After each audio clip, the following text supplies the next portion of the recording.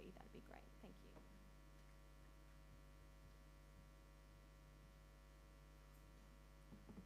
Good evening. All right, so Acts chapter 3. One day, Peter and John were going up to the temple at the time of prayer, all three in the afternoon, or at three in the afternoon.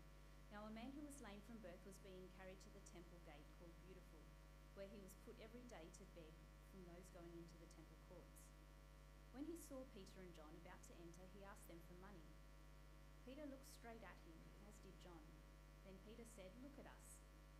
So the man gave them his attention, expecting to get something from them. Then Peter said, Silver or gold I do not have, but what I do have I give you. In the name of Jesus Christ of Nazareth, walk. Taking him by the right hand, he helped him up, and instantly the man's feet and ankles became strong. He jumped to his feet and began to walk. Then he went with them into the temple courts, walking and jumping and praising God. When all the people saw him walking and praising God, they recognized him as the same man who used to sit begging at the temple gate called Beautiful, and they were filled with wonder and amazement at what had happened to him. While the man held on to Peter and John, all the people were astonished and came running to them in the place called Solomon's Colonnade. When Peter saw this, he said to them, Fellow Israelites, why does this surprise you? Why do you stare at us as if by our own power or godliness we have made this man walk? The God of Abraham, Isaac, and Jacob, the God of our fathers, has glorified his servant Jesus. You handed him over to be killed, and you disowned him before Pilate, though he had decided to let him go. You disowned the holy and righteous one and asked that a murderer be released to you. You killed the author of life, God raised him up from the dead. We are witnesses of this. By faith in the name of Jesus, this man whom you see and know was made strong. It is Jesus' name and the faith that comes through him that has completely healed him, as you can all see. Now, fellow Israelites, I know that you acted in ignorance, as did your leaders. But this is how God fulfilled what he had foretold through all the prophets, saying that his Messiah would suffer. Repent, then, and turn to God, so that your sins may be wiped out, that times of refreshing may come from the Lord, and that he may send the Messiah who has been appointed for you, even Jesus. Heaven must receive him until the t- uh, time comes for God to restore everything, as he promised long ago through his holy prophets. For Moses said, The Lord your God will raise up for you a prophet like me from among your own people. You must listen to everything he tells you, and anyone who does not listen to him will be completely cut off from their people. Indeed, beginning with Samuel, all the prophets who have spoken have foretold these days. And you are heirs of the prophets and of the covenant God made with your fathers. He said to Abraham, Though your offspring, through your offspring, all peoples on earth will be blessed. When God raised up his servant, he sent him first to you to bless you by turning each of you from your wicked ways.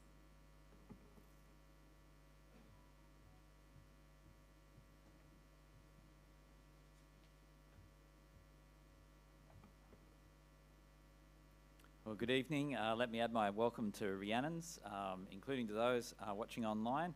Uh, we're continuing in our series in Acts, as um, she introduced at the start. And so uh, we reach this passage in Acts 3 tonight. So let me pray that God will uh, help us as we look at a passage which really confronts us in terms of our response uh, to the risen Lord Jesus. So let's pray. Our Heavenly Father, we do thank you that we can freely gather together tonight. Uh, we thank you for the gift of your word, uh, which we can so often take for granted, but we thank you that we have it in our own language, that we can therefore hear your voice as we read it, and your spirit applies it to our hearts and minds. And we ask that you would do that tonight, that we might understand more of your plans for us and this world of yours, uh, that we might hear your word clearly and respond rightly to your Son that you've given to us. And we ask these things in his name. Amen. Well, we're used to observing, aren't we, uh, master craftsmen who pass on their skill to apprentices that are under them. And so the apprentice learns their craft from the master, seeking to emulate the way that they do things. I can remember a number of years ago now, uh, we had the opportunity to see a master glass blower in Venice making these amazing glass sculptures. And at the same time, as we got to see that, we were watching uh, an apprentice that was keenly watching him and observing all that he was doing. And then we got to see the apprentice uh, follow his steps, copying everything that he had seen, determined to get it just right, to imitate his master completely. Well, there's something of that going on in the book of Acts as we see the disciples of Jesus wanting to imitate their master, Jesus, who has now ascended to heaven. When Jesus commenced his earthly ministry, uh, in Luke 4, speaking at the synagogue, he took out the scroll of Isaiah, unrolled it to Isaiah 61, and proclaimed the following The Spirit of the Lord is on me because he has anointed me to proclaim good news to the poor. He has sent me to proclaim freedom for the prisoners, recovery of sight for the blind, to set the oppressed free, to proclaim the year of the Lord's favor. This was his mission. And there's a strong sense in the book of Acts as the fledgling church commences uh, that the apostles will continue the work of their master Jesus. Or rather, the risen Lord Jesus will continue his work through his followers. You see, soon after this announcement by Jesus that this is what his public ministry was about, he then healed uh, Peter's mother in law. Um, a whole bunch of people flocked to her house in the aftermath, and he healed them of all kinds of illnesses. This is in Luke 4, straight after his announcement at the synagogue. Then the following chapter in Luke 5, he heals a lame man, which we'll see tonight in Acts 3.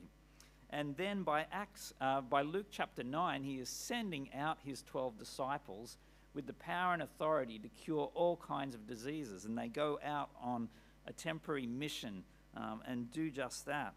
And so it shouldn't really surprise us that when we get to the end of Acts chapter 2, the passage we looked at last week, that suddenly we see a description amongst this new church community that includes the statement everyone was filled with awe at the many wonders and signs performed by the apostles.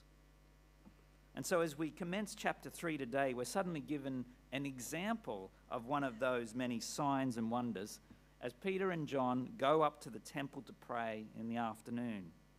Now, notice that we're told about this man who was lame from birth, and we learn in next week's chapter, chapter 4, uh, that he was over 40 years old at this point. And so he would have been a very well known character. We're told that he's regularly placed by his friends and family at the Gate Beautiful, which was one of the entrances, the eastern entrance to the temple courts. So people would be seeing him day after day, week after week, year after year. He would have been recognized by everyone. And he sits there as uh, beggars do, and we might see them even in today's context at times, asking for money for the crowd that's passing by, entering into the temple courts for the afternoon prayer at three o'clock. But suddenly, Peter and John sort of stop him because he's just been placed there and he's asking without even looking at them. And they ask for his attention. And so he gives it to them, and he must be expecting that they're going to give him some money because otherwise they just would have gone past without saying anything. But he's disappointed because suddenly they announce, Well, we have no money to give you. And I guess as the disappointment is rising, suddenly Peter puts out his hand, but he says, But what I do have, I give you. Rise up and walk. And he takes him by the hand, and miraculously his feet and ankles are strengthened. And for the first time in his life, this man stands up and is then able to walk into the temple courts with Peter and John, something he has not done in his whole life. Incredible scene. And of course, it draws attention. He's so well known. And so, as he's going in, there is this amazing scene. It's not like he's limping in, still struggling, or he's sort of playing down what has happened to him. No, this guy's jumping and leaping around, praising God for this amazing miracle that has taken place. And in fact, it's a great fulfillment of what the prophet Isaiah said would happen when the Messiah came. Isaiah 35, verse 6, uh, is a passage which talks about the lame leaping like a deer and here is a man who had been lame since birth for over 40 years, and here he is leaping and praising God as he enters the temple courts. And so it's no wonder then from verse 10 and 11 that lots of people are being drawn to what's happened. He's such a recognized figure. And so they realize he's this guy that they've been passing all the time. How is it that he's walking around? And he's clinging on to Peter and John, which makes it clear that well, they are the reason that he is able to walk like this.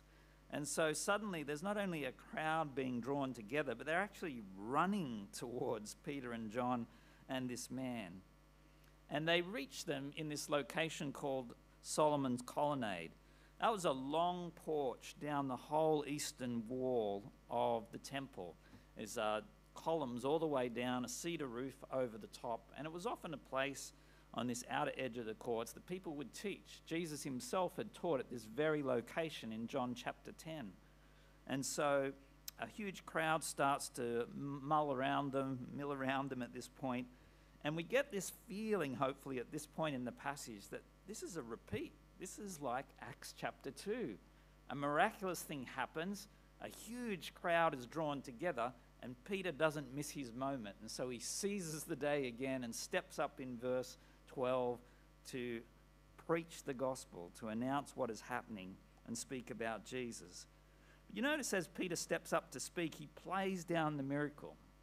It's not really about the miracle, it's certainly not about his involvement in it. It just gives him a reason to point to Jesus and to explain something even more crucial. And so, the big question that I want us to consider is the question that really Peter is putting to the crowd with what he says. And it's about response to Jesus. How are we to respond to the risen Jesus? What are we being called to do? How are we to respond to Jesus from what Peter is about to announce? Well, three answers to that question tonight. First answer is this by accepting our guilt. By accepting our guilt. Notice where Peter starts, perhaps strangely to the crowd that's rushed to see this miraculously healed man. Verse 13 The God of Abraham, Isaac, and Jacob, the God of our fathers, has glorified his servant Jesus.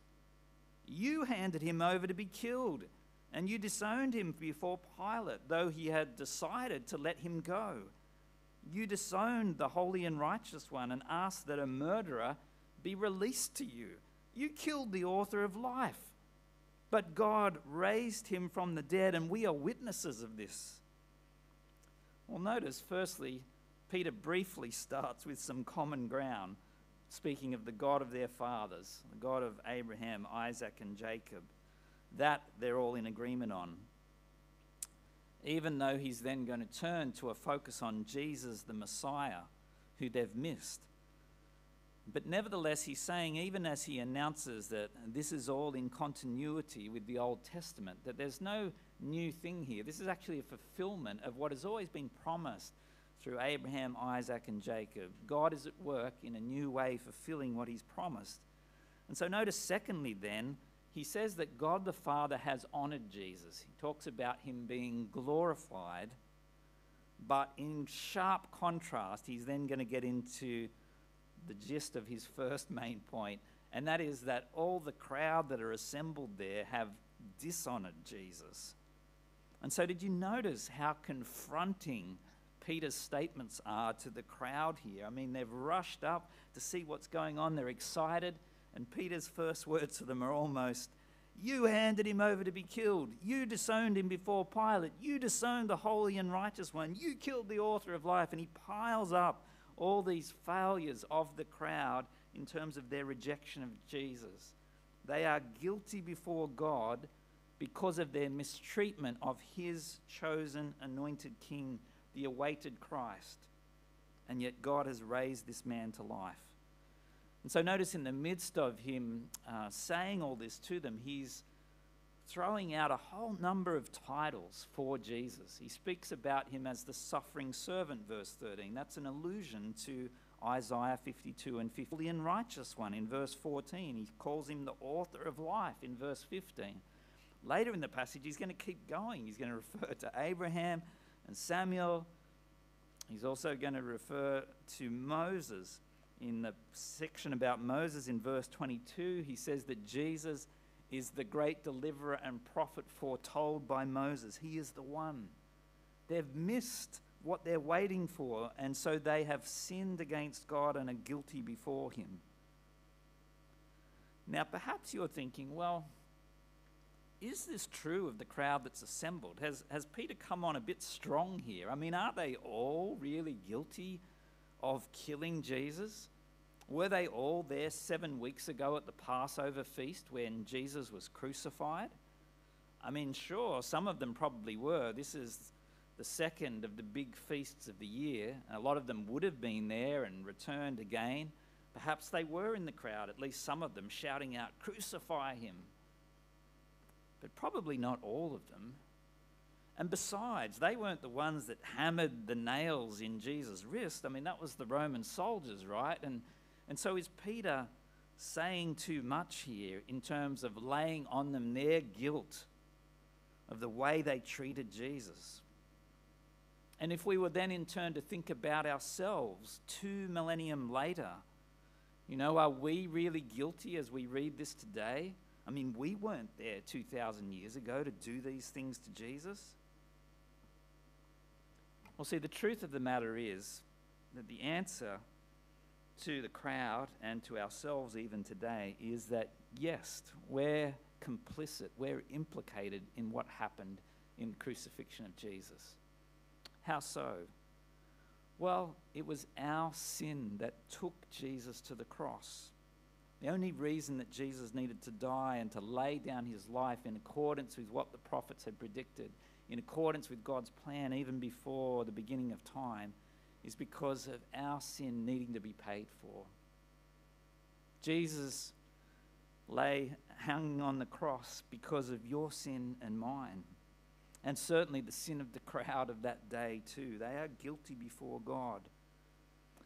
That sense of us being complicit, even though we're some years down the track, is being taken up by various writers and singers and songwriters over the past 2,000 years. Let me give you a more modern version of it. The Irish rock band U2 expressed this really well in their song with B.B. King a few years ago, When Love Comes to Town. I don't know if you remember this song, but one of the verses said the following I was there when they crucified my Lord. I held the scabbard when the soldier drew his sword. I threw the dice when they pierced his side. But I've seen love conquer the great divide. You see what they're saying there? I mean, Bono looks old these days, but he's not 2,000 years old. And he's saying that he may as well have been there. Like the crowd on the day, we're no different. If, in fact, if we'd been there, we would have been shouting, Kill him too. You see, at some point, we have all rejected Jesus in our own way. And what Peter is doing here is really defining sin for us. You see, sin is ultimately rejection of God as ruler of our life, rejection of his Son, the Lord Jesus, whom he sent to save us. When we say we're going to rule our lives our own way, that we're going to ignore God and we're going to do things without reference to him, we're rebelling against God.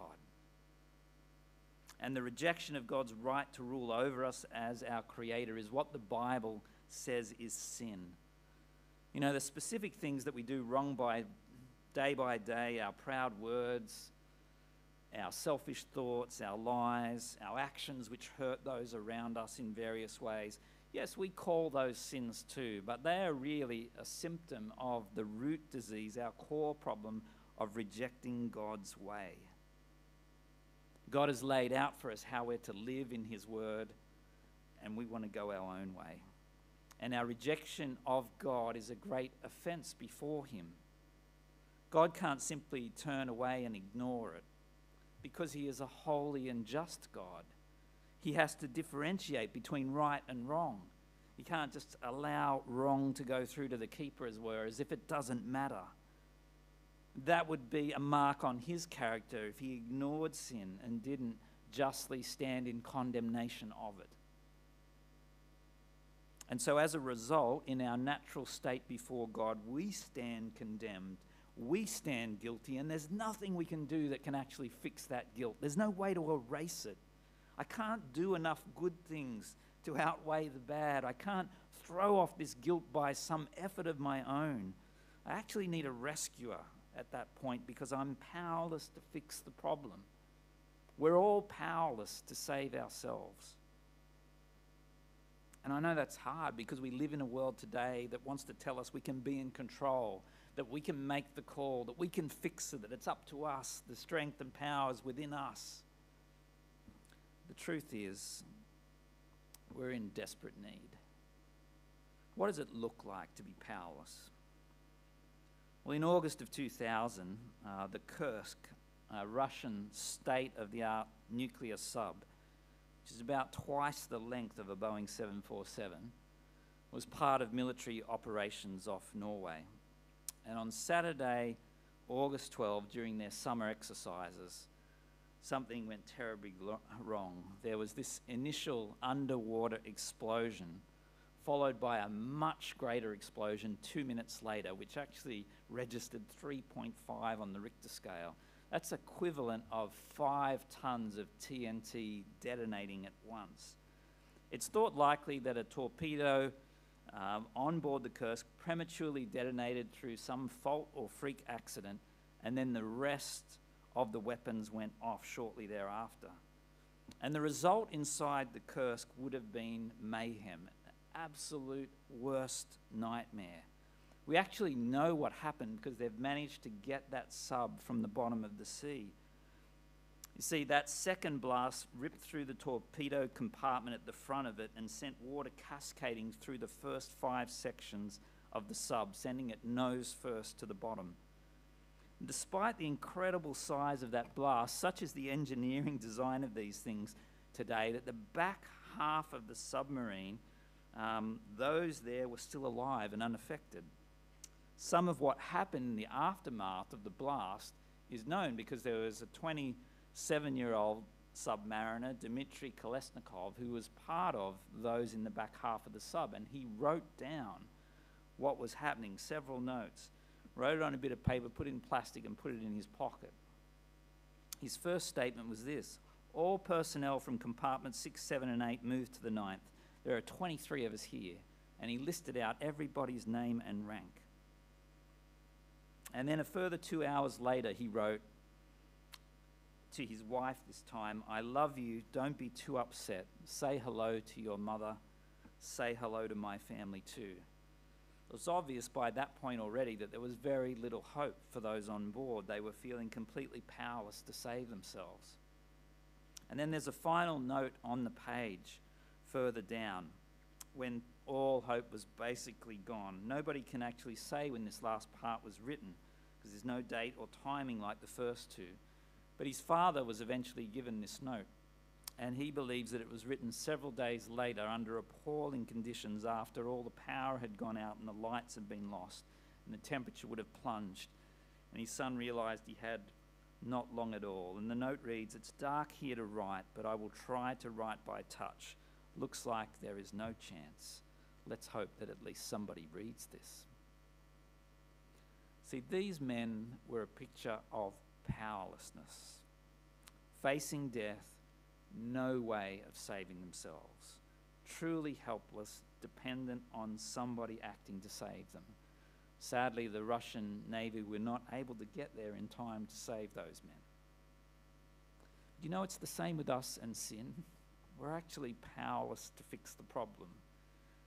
Our guilt is such that we can't do anything before God. There's nothing we can do to extricate ourselves from that consequence of our sin. And so we really need a rescuer. We're so desperately in need of Jesus and the solution that God offers through him. And that brings me to a second answer to this question. How does Peter call us to respond to Jesus? Well, firstly, by accepting our guilt, but then, secondly, by turning in repentance by turning in repentance to God.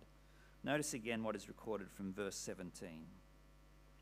Now, fellow Israelites, I know that you acted in ignorance, as did your leaders, but this is how God fulfilled what he had foretold through all the prophets, saying that his Messiah would suffer.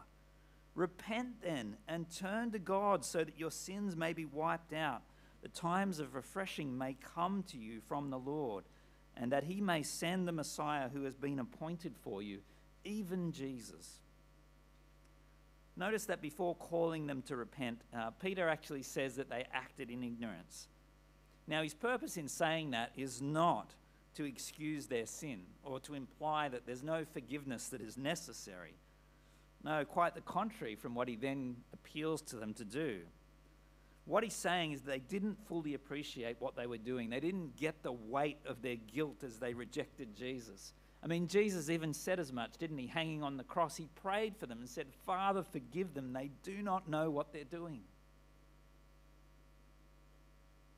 And so he acknowledges that they didn't appreciate the full horror of what unfolded seven weeks earlier. But like in his Acts 2 sermon, notice that Peter states that Christ's suffering was not by chance. It wasn't like things were out of control. It was actually in fulfillment of God's prophecy, that God had planned this. And so it's neither their ignorance nor the suffering of Jesus being God's plan actually meant that sin could be set aside or ignored. And so Peter calls those in the crowd to repent. He calls them to repent and turn back to God so that their sins could be wiped away. It's a wonderful offer here. Repentance is a word that means a change of mind. It means an about face. In the context of our sin, it means to acknowledge that we were going the wrong way, rejecting God, and to turn back and to go His way. And so the language of turning away is an admittance of our sin, of our wrongdoing. It's a 180 degree turn. In November of 2000, uh, Christine and I travelled into Sydney CBD on what was initially a Sunday afternoon. Um, we were going to climb the Harbour Bridge. And by the time we got into Bridge Climb for our late afternoon assault, uh, the sky was becoming a bit ominously dark, and there was obviously that sort of thunderstorm afternoon threatening. But our bridge climb leader assured us, you know, that would be no problem, that we would go ahead, and we were soon in the middle of what they called a thorough briefing. If you've done it, you'll realise you get 45 minutes of being dressed up in all the gear, including rain jackets, uh, the clips to go on, and then you're practicing going up over little metal steps that are supposed to mimic the bridge that you're about to climb. But as we're doing all this for 45 minutes, we see rain starting to pour lightly to begin with.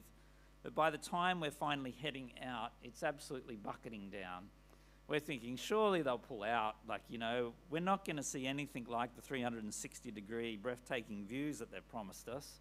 But no, our intrepid leader promised us we'd still go on. We'd been fitted with rain jackets after all. It's all good. And so we're walking out. In that first section, you're walking under the undercarriage of where the cars go before you then climb up the ladders above the roadway. And as we're walking along that first part, suddenly fork lightning starts falling on the harbour and, and we're moving from disappointment about what we'll see to, you know, fear of death. And um, I'm sort of looking at my joggers thinking, have I got enough rubber to take, you know, a direct lightning strike on a steel bridge? It, it seems unlikely. And, and so we're thinking, come on, they've, they've got to give up on this. And no, no, no, we're passing on and we're climbing up the steps, up through the roadway, at the last possible point where they could pull out. And finally, the leader says, no, we're, We've got the word back in HQ and we're going back. So finally, to our relief. Now, there is an example of repentance. They admitted that they were wrong, they turned around and they led us back as we cheered them on. Finally, you've made the right decision. A complete change of mind, an about face. Well, thinking more seriously about this issue of sin, though, what about you? I mean, have you repented of your sin before God? Have you placed your trust in Jesus, the one payment that deals with your debt before God and wins you forgiveness? Have you traded facing God's judgment and the eternal separation from Him that will come with continuing to go your own way? Have you traded that for accepting the eternal life that He promises for those that trust in His Son? And see, if you turn back to God, He will immediately welcome you back. I think sometimes we feel like, you know, because of who we are or the things that have happened in our life, that it's not like that. He's not going to receive us. But the Bible promises over and over and over God's heart is far bigger than ours. We may be a great sinner, but we have a much greater Saviour. And if you turn back to God, the burden of your sin will be lifted from your shoulders. We're told by Peter here that we'll be refreshed in our spirit. What is it that brings pleasure to the heart of God? What makes him smile, as it were? What is it that rings all the bells in heaven? Well, Jesus himself gives us the answer in Luke 15. He put it this way There is rejoicing in the presence of all the angels of God over one sinner who repents. Just one.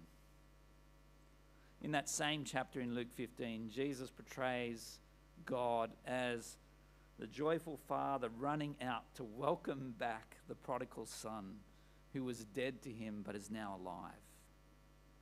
And then he kills the fattened calf. He orders a celebration because he has received back his lost son. And he includes him and welcomes him back into the family. And that is a picture of the feast of heaven, which we're told about, which every believer will enjoy one day following Christ's return. That we might be included and adopted in God's family and be part of his wonderful celebration with all those that have trusted in Jesus. Well, look, I don't know where you stand tonight, but I'm sure there'll be some here who aren't sure what they think about Jesus just yet. And perhaps haven't turned back in repentance to God. Let me urge you to talk to somebody about that tonight. That is such an important step. It's such an important thing to consider. Please talk with someone before you leave if God is working in your heart tonight to think about that very question. That brings me to a third and final answer of how we should respond to Jesus from this passage. Finally, we need to respond to Jesus by listening to him, by listening to his teaching. Notice where Peter goes as he calls the crowd next in verses 21 to 23 to further respond. Heaven must receive him until the time comes for God to restore everything as he promised long ago through his holy prophets. For Moses said, the Lord your God will raise up for you a prophet like me from among your own people. You must listen to everything he tells you. Anyone who does not listen to him will be completely cut off from their people. See, in verses 22 and 23 here, Peter is quoting from Deuteronomy 18 and Leviticus 23. It's a mashup. He's combining a couple of parts of verses to put together this statement. And Peter's making it clear that there's a promise here through Moses that there will be one like him, a great deliverer, an even greater deliverer, a prophet like Moses, but one to be longed for in the future. And when this one comes, then they must be listened to. The concept of listening to the promised prophet and deliverer comes from the book of Deuteronomy. But those consequences of being cut off if we reject that one is what Leviticus 23 brings to that quote. Failure to listen to Jesus and obey his word leads to destruction, we're told, because it's ultimately a rejection of the one who's offering payment for you. You see, the context of Leviticus 23 is the Day of Atonement, the payment for sin. And the one who will come and fully deal with your sin and mine is Jesus through his death on the cross. And so, if we don't listen to Him, if we reject that payment, then there is nothing left for us to be able to stand before God.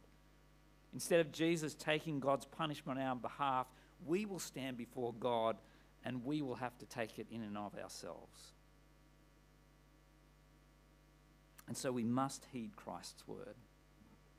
And as we apply this final point to ourselves tonight, we need to realize that it's not only heeding Christ's words at the point of salvation, but this is an ongoing requirement for all those who do trust in Jesus. That Christ's words to us in the Bible are imperative for us to listen to. They're not just take it or leave it. You know, I've got my ticket to heaven now because I've trusted in Jesus, but I don't really need to bother about following all this stuff that he commands. But you don't receive Jesus as Savior without receiving Him also as Lord. And so He calls us to live for Him, to be truly followers of Him every moment. And so often we play down His word, don't we? We play down our inattention to what He has taught us. we excuse our laziness. We sort of make little of the lack of seriousness in our life about heeding what He tells us to do. And we think to ourselves, oh, well, you know, I'm just struggling with reading the Bible at the moment, but it doesn't matter. I haven't got round to it for the last month. But, you know, I'll listen to a podcast next week and that'll give me a little bit of input or something like that. And as we say those kind of things, we don't see ourselves as ignoring Jesus.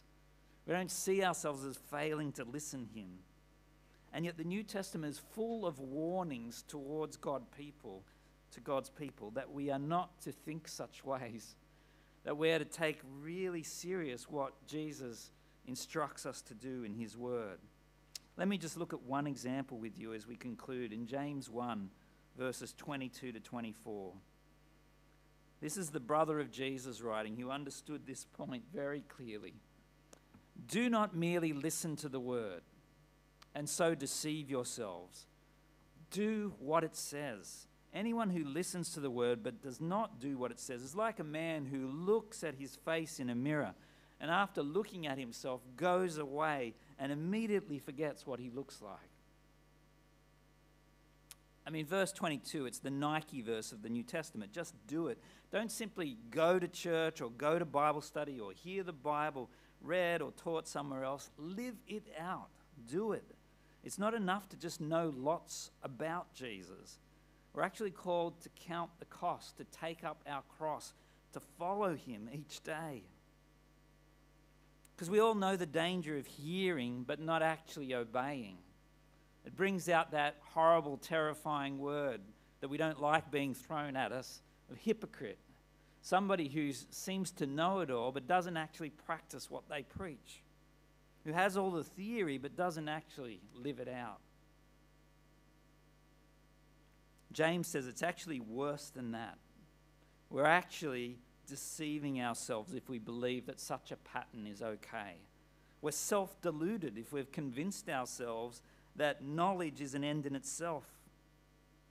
And it's often said in our world today that knowledge equals power. I want to put it to you tonight that the Bible tells you knowledge equals responsibility. If you know something and you don't do it, then God will hold you to account about that. And so we need to take God's word seriously. We need to heed Christ's words to us. I was so conscious at the end of Bible college that all these great things I was learning was far outstripping my ability to actually live it. And so I was terrified by the end of college, thinking I, it's going to take me a long time to catch up to what I now know that I should do. It'd be better if I didn't have this knowledge. I was so aware of my inadequacy. So we need to apply ourselves to Christ's word. We need to have a holy dissatisfaction with any half baked attitudes about his word to us. It is life, it is how we are to live moment by moment. And it's not just about our personal walk with the Lord, as if that's all that matters. We've actually got a great responsibility to spur one another on. Let me show you Hebrews 3, verses 12 to 14. The writer to the Hebrews says this See to it, brothers and sisters, that none of you has a sinful, unbelieving heart that turns away from the living God. But encourage one another daily, as long as it is called today, so that none of you may be hardened by sin's deceitfulness. We have come to share in Christ if indeed we hold our original conviction firmly to the very end. So let me ask you firstly, how are you going at responding to Jesus' word to you, heeding his instruction day by day? But then, secondly, and just as importantly, how are you going at spurring on your brothers and sisters in Christ? Do you take that responsibility seriously? It applies in your own family, yes, but it applies beyond in your church family gathered here tonight. There's no room for complacency when it comes to God's word, not just as an individual, but as a church community. It's just so important. So I want to encourage you as we finish. think about one thing that you could do this week to help you grow in your commitment to heeding Christ's word to you. To firstly reading it so that you might hear it, but determination to live it and respond to it. Then think of one thing, is your second thing, of how you might spur even one brother or sister in Christ this week. To see to it that they're walking strongly with the Lord because their walk with the Lord is as important to you as yours is. Let's be about those who simply cannot turn away from Christ's word, but want to hear it and live it, and encourage all around us to do the same. Let me pray for us to that end. Our Heavenly Father, we acknowledge that as Peter spoke some 2,000 years ago, that he laid down heavily the guilt of the crowd for their failure to accept Jesus, for actually killing the author of life.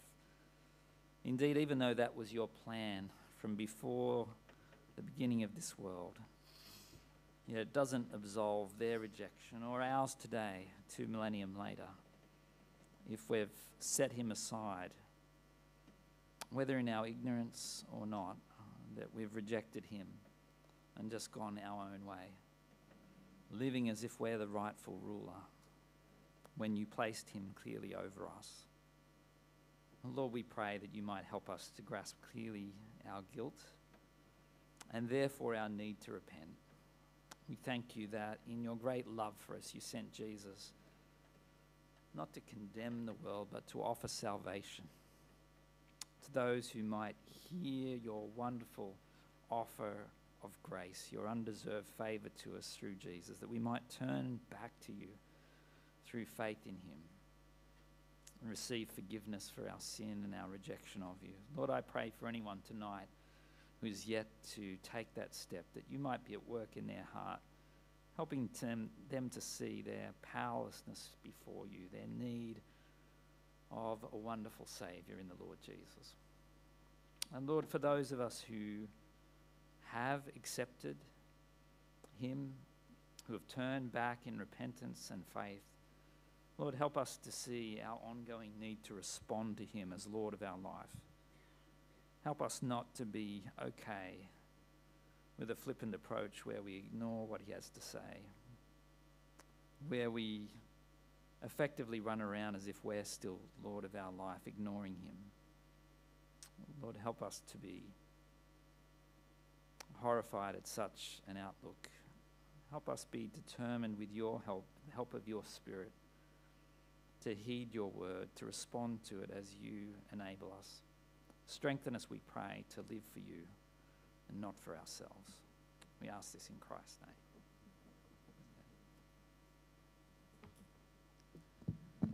Friends, this next song we're going to